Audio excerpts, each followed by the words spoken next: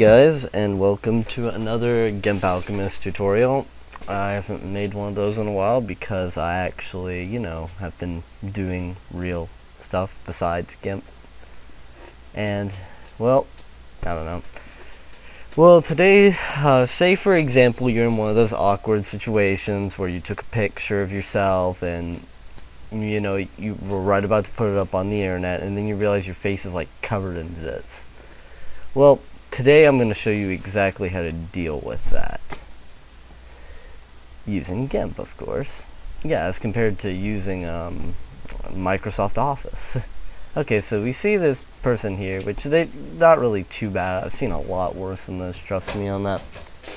But um, what we want to do is you want to get the healing tool this is made like almost pretty much specifically for this purpose and you want to kind of zoom in a little bit and find the blemishes and stuff. You see blemishes people, blemishes right here in front of your face. Now this basically works just like the clone tool except what it does is it actually um it'll do shading correction so it matches the shading of the area so it doesn't look unnatural. But in order to get this to work, you gotta find a clean patch of skin, hold down control if you're on PC, click or command if you're on Mac, then do that, and voila, look, is it, it's gone. It, ma it magically disappeared, people.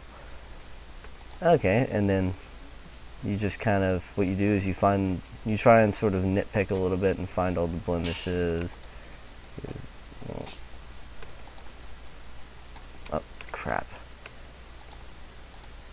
It's usually good to just single click with this too because otherwise otherwise you're gonna get some really you can get some pretty interesting and weird stuff with this. See look. Looking a lot better already. Now you can put now say I don't I have no idea who this is and if you're watching this video and this is you I apologize for for making you out to be my zit mascot but um basically, once you get this up and running, now you see everything is kind of a lot better. We'll just do some minor correction here. And just as an added bonus, because this tutorial was grossly short, I will give you a little bit, another little mini tutorial within this one, where basically I'm going to show you how to take the picture like this and make it look a little bit better. Well, the back, we're not really going to work with the background too, too much because, well, you know what? Hold on a second. This, that blue is distracting me. That is distracting. But, um, basically in a picture like this, one of the best things you could do with it is, um, now, just sort of imagine, you know, you're in a um, you're in a situation where it's a different background, and in this case, it's kind of mediumly lit. But if you want to just take this to the next level just a bit. A little bit more correction in here. I think I missed a few spots. Yeah, definitely. I did definitely miss a few spots.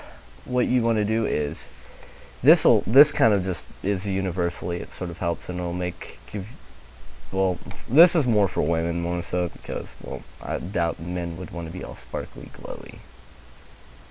Alright where did it go? What the?